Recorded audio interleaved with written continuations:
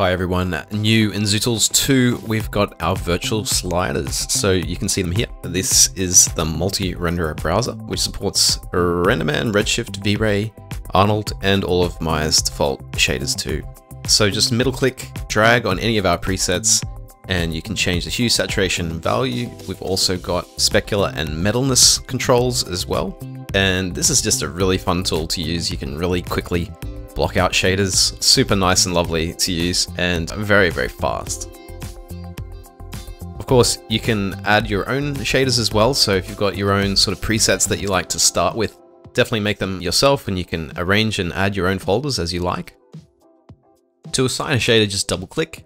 And then to adjust the saturation, we've got shift, middle click, drag left and right. Hue is just the middle mouse button, left and right, so no modifier keys held down. Brightness, just go up and down with the middle mouse button. Roughness here, control middle mouse button, left and right, that will take the specular roughness for you.